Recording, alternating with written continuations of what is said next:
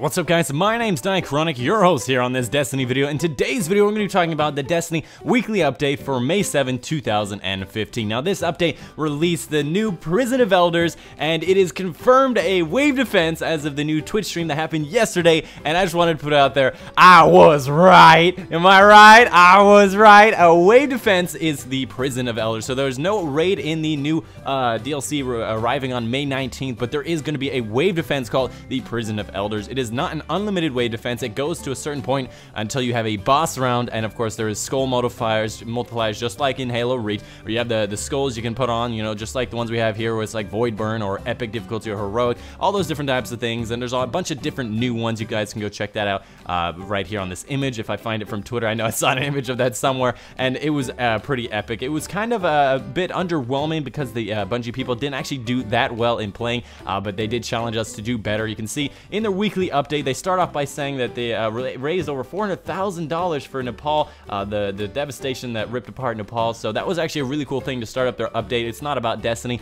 and I just really love how, uh, you know, uh, that Bungie's into their community and they, they want to uh, be part of life uh, events and world events and all that stuff. And I just think that was a really cool touch that they did include that in there. But anyways, back to the Prison of Elders. They talked about how all those different informations, that there's different things that they're releasing about it. You can see the schedule of how they release things every single week. They take down the servers, they bring it back up, and everybody's just like, oh, what can I find? So you can expect a week before the actual DLC comes out. So you can see here on this schedule, you actually see some world changes, which which what that means is the DLC will be downloaded onto your hard drive at that point. We don't have to download too much at the time. The world will be changed, and perhaps we can find some sneaky stuff around the map to see if we can uh, discover things before the actual DLC drops on May 19, 2015. I personally am really, really excited for this. I have been waiting uh, for a really long time, and I'm not happy that it's on my finals week, uh, but I'll be uh, making sure to cover as much stuff as I can uh, when I actually get it. But uh, anyways, that is pretty much it for the weekly update. There really isn't much more to it. They just talked about the, the, the Twitch stream they had on Twitch about the reveal. They talked about the Prison of Elders, and of course they top, uh, talked about the Nepal